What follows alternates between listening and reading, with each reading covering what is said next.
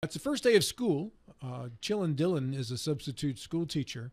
Uh, he's not in the school teaching today. He's here with us producing. So, Dylan, if you get a chance, put your ears on, and we'll uh, start off our new school year with our local teacher in in uh, in waiting here. Because I think Dylan, what do you do Thursday and Friday during the school year? Wednesday, Thursday, Friday? How's it work? Yeah, uh, Wednesday, Thursday, Friday. Wednesday, Thursday, Friday. Okay. Is there anything different this year? Have you have you gotten your information? Did they send you a, a package every year to start the school year?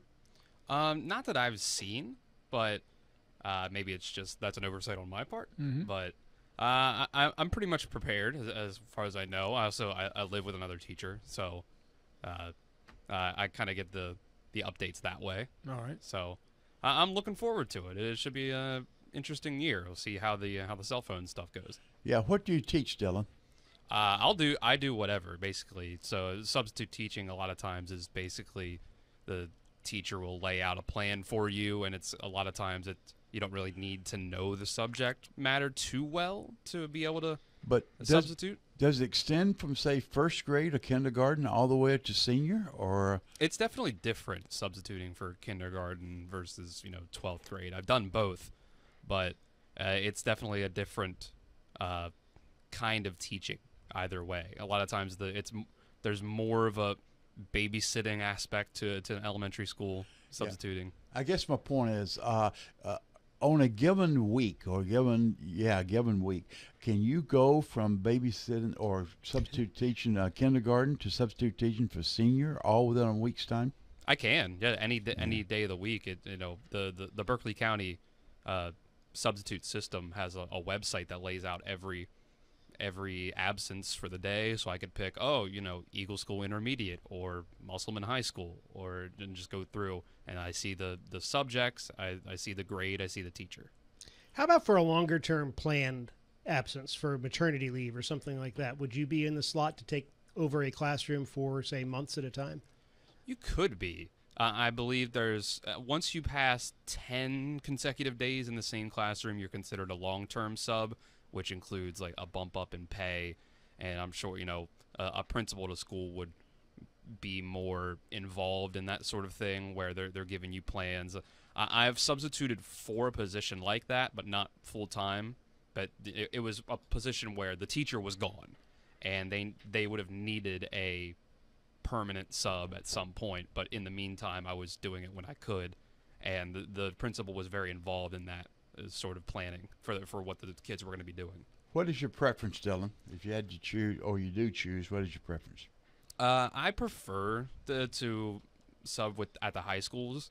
It's just they're they're all a, all the students are a particular kind of mischievous, I guess you could say. There's there's a different kind of uh, curve for how to uh, deal with behavior at certain levels. I prefer the high school level where it's a little more chill, I guess you could say, where it's it's more about you know getting on them to do their work versus you know getting them to stay in their chairs. Well, that's good to know, though. Yeah. Right. So, what are your options? Uh, Have you had a situation in a classroom where a kid needs to be physically restrained or moved? Have you had fights in the classroom or anything? I haven't, but I, I've heard about uh, those kind of situations. That's good that you haven't, though. How many years have you been subbing? I think at this point, probably have gotten through three school years. I think. That's so you three days a week, three years. Uh, yeah, pretty much. I'd I'd say it, it was at least three days a week. Yeah. That's pretty good. Now, Dylan, in all honesty, which is more challenging? Baby, and I'm using the word babysitting in kind of a very loose way. babysitting some of the kids there, or babysitting Rob here in the studio. Yeah, which is uh, which is easier, Oh, Rob's got to be is way easier. Yeah. and, and I'm entertaining too. Yeah. the kids are entertaining too, so you know from time to time. But So to, to, you print as fairly young to me. Of course, most people do. Twenty six. Uh, yes. So 26. does your youth play to your favor or against you? Because you're you're not- you know you're not ten years older, but you're seven or eight years older than than the oldest kid in the classroom.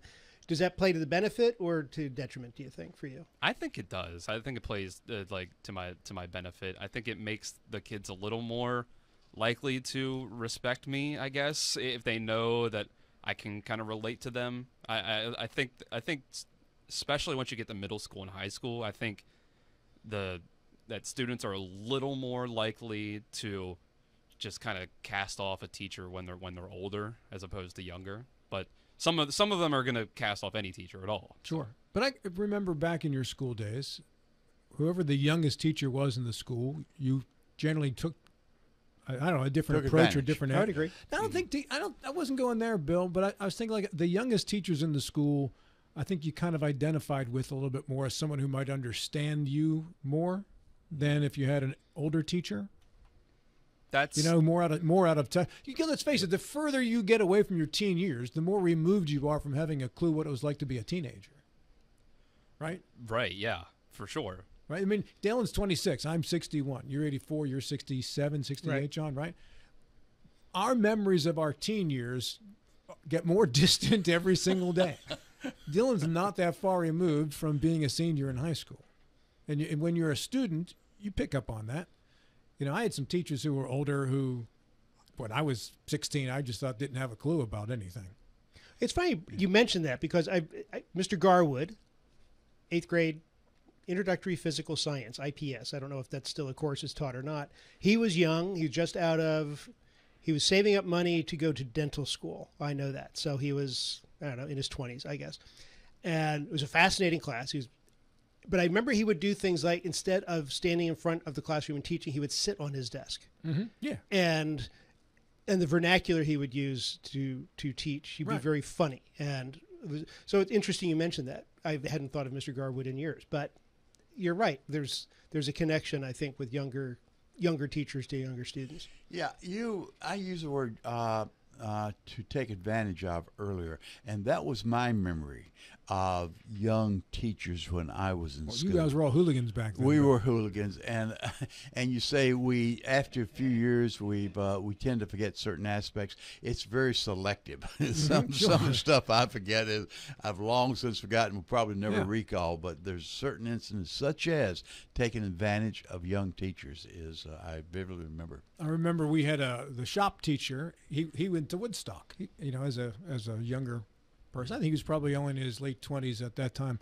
when he was teaching us in high school, or early thirties. But I remember him telling us that he was at Woodstock. This this would have been probably 79, 80, somewhere around there. And when you're 16 or 17 and someone says, You were at Woodstock? And my friend Bill Bliss, I'll never forget this. He, his first question, of all the questions you could ask somebody who went to Woodstock, he goes, Where did you park? like, tell me about Jimi Hendrix, right? No, it was, Where did you park? That, I would have had the same sort of questions. I, I can definitely remember a middle schooler one. This is a little uh, different than going to Woodstock, but I remember a middle schooler asking me maybe a couple years ago, "Do you know what Minecraft is?" And I was like, "I played Minecraft." Yeah. And they were like, "You played? You play Minecraft?" Sure. It's, uh, I think if you can identify, or like you said, that he sat on his desk, that was totally different, or just some of the words that a younger teacher uses, I think it helps in the classroom when- when you have that kind of identification with your students. Yeah, I definitely think so. Uh, Right. It, it's, I don't know if, it, if it's just a respect thing or if it's just you're more willing to learn from them or what, whatever whatever it is. But uh, I can see that. Yeah. dylan what does your crystal ball project out to be the, the encounters with the cell phone policy Oh, I'm sure it'll be difficult. I mean, the students were already not supposed to be having their phones out in the classroom during class time, and that that was already an issue. So, uh, I think for for most schools, at least the ones that I've been at, they already had some sort of policy in place where I, think that the main change would be between classes. You're not allowed to have your phone out like in the hallways, versus you know you get uh, th- that's the only time you know once you're in class, most the, average teacher is going to say, "All right, you should have your phone away," anyway. But between classes, out in the hallways, that that'll probably be difficult, and then you'll have the same sort of struggles for kids wanting to be on their phones in class, putting their laptops up on their desk and putting their phone up on the laptop screen as if no teacher has ever seen that done before, as if you know when you can t- you can tell that a kid has their finger all the way up to the laptop screen, and you're like, your laptop's not a touch screen. What's your what's your what's your hand doing up there?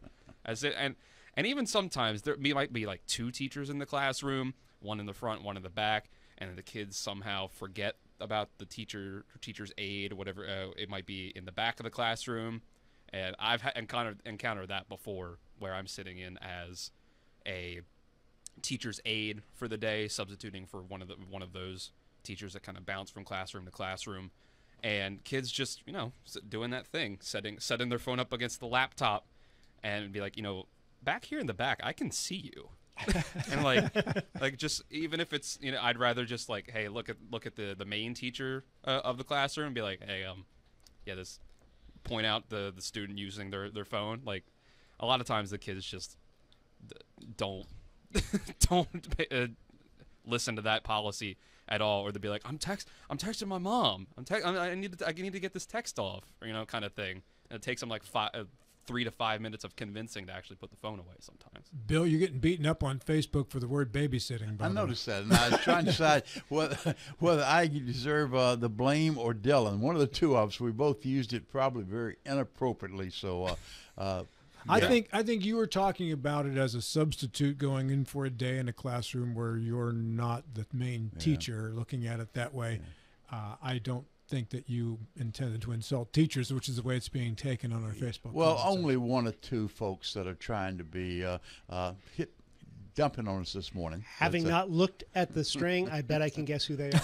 I, No, I, actually, I a couple use different that, I use that term Yeah. because a lot of times when, when as a substitute when you go into the classroom Yeah. the the agenda for the day is given to you the teacher who is in the classroom normally is well a lot of times it's a worksheet or maybe it's uh, an online assignment on on schoology where they say this is what the kids are going to be doing today this is what you should have them do Yeah. so it's a lot of times it's go up to the front of the room at the beginning of class say this is what your teacher left for you to do today i'm either going to pass it out or everybody gets their laptops uh, open and does their assignment and then from there you know i just kind of used the word babysitting as you know just kind of a catch-all as the most Dylan, relatable let's term as not- I watch them do the Go ahead, Dylan. Let's not ahead. take the heat off Bill so quickly here. Dylan, let's go back to how No, Bill inappropriately yeah, accused all teachers of being lazy and never working a day in their Dylan, lives. Dylan, you're handling this quite well. Just go right ahead. No I'll, I'll dip out you go ahead Bill no, that's okay, Dylan. You go ahead. This was clearly Bill's fault. Let's not gloss over that too much, too quickly. So here. Del, I, I want to talk a little bit about the, the laptops. Do they double now as textbooks? Where I used to be told, open your text to page to chapter thirteen. Now it's open your open the, the document on your laptop to whatever. Is, is that what's happening now? Is that what the laptops are about? It, it can depend on the teacher it's, uh, themselves. A lot of classrooms will have textbooks still, but a lot of times the the same work, the same text will be online somewhere for the kids to be able to to have. And a lot of times it's easier for the assignments at the very least to be online so that it makes it easier to grade. Like it's very easy to, to grade a multiple choice assessment if it's online because the, the teacher doesn't even have to look, go through it. The, the, the system, the computer automatically knows what the right answer was and whether you put it down or not. So that, that's that's sort of how it goes. It's definitely a lot more stuff used on the computer because I think it, it's easier for the teachers too. A lot of times they don't have to, there- there's not so much paper they have to run through and and keep to themselves and collect. It's it's easier to just pull up a computer and look at everything, click by you know, or go to open this student's profile or whatever. Berkeley County Schools now in excess of 20,000 students for the first time. And uh, a couple things here. Uh, school buses on the road. Don't pass a stopped school bus. And that includes if you're on the other side of the street, uh, if there aren't hard barriers between, say, northbound and southbound or westbound and uh, eastbound. You know, Jersey barriers in between the lanes blocking uh, any type of crossing, then yes, you can go. But uh, even a broken divided highway, you have to stop uh, when a school bus stops. You should definitely not pass a school bus when it's in front of you, uh, especially if it's, uh, I mean, when it's stopped, we're talking about here. And Rob, I'm curious why we're having this freewheeling discussion this morning as opposed to a more disciplined uh, guest, which they did not show up. Thank you for revealing that to everybody, Bill. Uh, Well, I think it's quite obvious. no, Dylan was the scheduled guest on the program this morning. No, Chase Oliver, the president of the Libertarian Par- nominee of the Libertarian Party, no showed us here this morning. I'm not sure why. We'll get to that later. However, on Wednesday, Lisa Henry from the Backpack Program will be here. We're going to help raise some money for the Backpack Program on Wednesday. And the way we're going to do that is I have four tickets in my hand right here to the West Virginia Penn State football mm. game, right? Four of them. We're going to auction these off to the highest bidder during Lisa's appearance here Wednesday morning. All the money is going to go to the backpack program. I am told that these seats can go for in excess, in excess, Bill, of $300 per seat. These are, I'll tell you the section right now 103. Which stadium? Row 41. Milan Puskar, West Virginia. Okay. Yeah. Uh, 41 seats, 110 through 113. Highest bidder will get the four seats. They go as a package of four, and that's uh, on uh, Wednesday morning. So we expect to hand over a nice big chunk of money to the backpack program for this because they do such great work in our community, helping to send food home for kids who don't uh, have it at their houses, even over the weekends too and holidays. And Lisa Henry and that group have been doing that work around here I think about 10, 12 years uh, we've been having her on the show talking about it. Can people start bidding now? They can. Are you going to put in the bid, John? Football is my life. We all we all know that. We're all quite aware of that. Uh, speaking of the backpack program, Dylan, as a substitute teacher, are you made aware of that uh, sort of thing at all as to what kids need to get uh, food in their backpacks and whatever? Is that uh, is that mostly for the younger ones? Uh, I'd say it's uh, more so for the, for the younger ones. I stay usually in the middle school and the high school.